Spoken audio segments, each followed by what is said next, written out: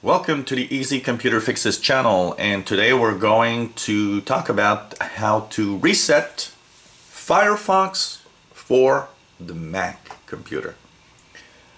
Now a lot of people are using different browsers. Um, some of you use Safari uh, which is pretty much the default browser on the Macs but a lot of people actually use different browsers and you probably might be using Firefox Firefox is a great browser, but it can go wrong. It can crash. It can also uh, be sluggish or have some kind of problems with add-ons. So there's a way to actually reset uh, Firefox to its default settings, um, just like the way it was when you installed it the first time. So here you have, uh, if you have a sluggish internet access, with Firefox.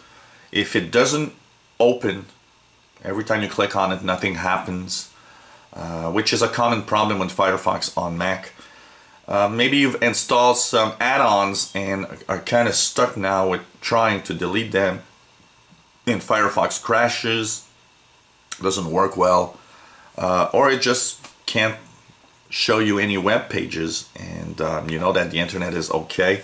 Uh, first of all, one thing you should look at is if uh, Firefox cannot go on the web, you should actually click on Safari and see if Safari can go on the web. That's the first basic thing because Safari can go on the web, Firefox cannot go on the web, then you know there's a problem with Firefox. But if Safari cannot go on the web either, then problem is probably not Firefox, but more in your internet settings or um, your Wi-Fi settings of some sort. So you gotta check that before you reset because resetting Firefox will erase most of the information that it's stored including passwords, including uh, usernames, uh, website data. So resetting it could be a big thing if you're not careful. So how do you reset Firefox on the Mac? Well, of course, you go into your Firefox browser.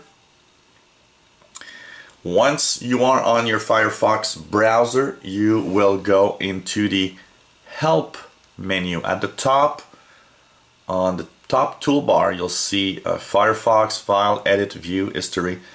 Uh, go into the Help tab. Once you're there, you will click on Troubleshooting Information in that little window it will open a new tab in your Firefox browser. And on the right side of that new tab on that right side of that new tab you will have reset Firefox. And so you'll click reset Firefox. It's gonna tell you that um, it's will it will preserve windows and tabs browsing history and bookmarks. Um, save passwords and form history if possible and cookies. Firefox will restart and everything else will be removed.